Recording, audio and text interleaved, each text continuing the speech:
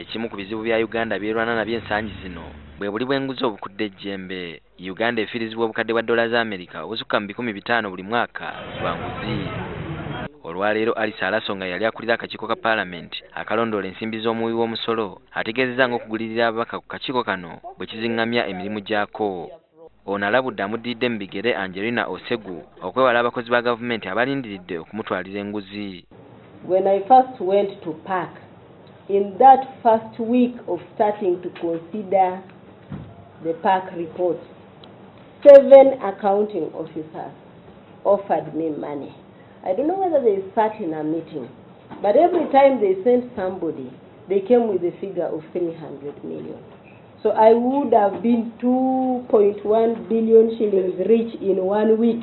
Alaso era ategeezezza ng'abaga b'enguzi bwe bagiwa n'abamu ku babaka abatula ku kakiiko kano akalondoola ensimbi z'omuwi w'omusolo akamanyiddwa ennyo nga paaka bwe batyo ne bateesa mu ngeri ey'ekifuula nnenge They will pursue your members to become unruly in a meeting and divert you.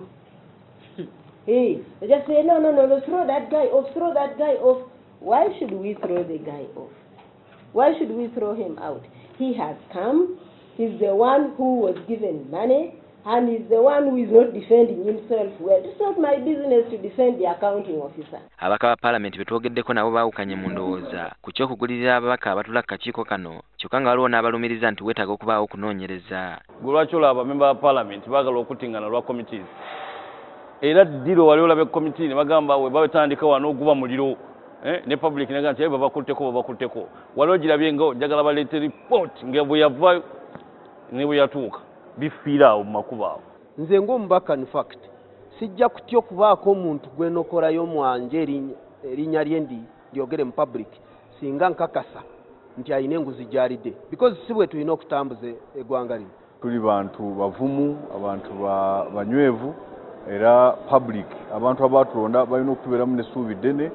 Tewali muntu ajja kujja agulirire bamemba ba paalamenti basobole omukolera byayagala bamubikirireko obanga alina sente zeyali obanga alina ebikolwa bye byeyakola ye omumyuka wa ssentebe w'akakiiko kano gerard karuhanga ategeezezza nti ebimu ku bye bagenda okusookerako ze alipoota ennyingi ezikandaaliridde tumaze kukyogerako ne chairperson tulina meeting ne speaker okulaba nti ziripoti zonna zonna tuzimalawo ekyokubiri waliwo sectors embi nnyo ezitulaba nti zeetaaga ah, amaanyi agamba nti ensonga endala gye batagenda kubuusa maaso y'engeri ensimbi z'amafuta gye zigenda okukozesebwamu.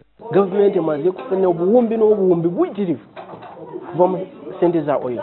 Naye tetunaba kulabako naye kapapula kamu akaliko embalirira y'esente za gavumenti nti zino zivudde mu oil. Tukimanyi nti waliwo ne- nehima ekozesa oil eyo.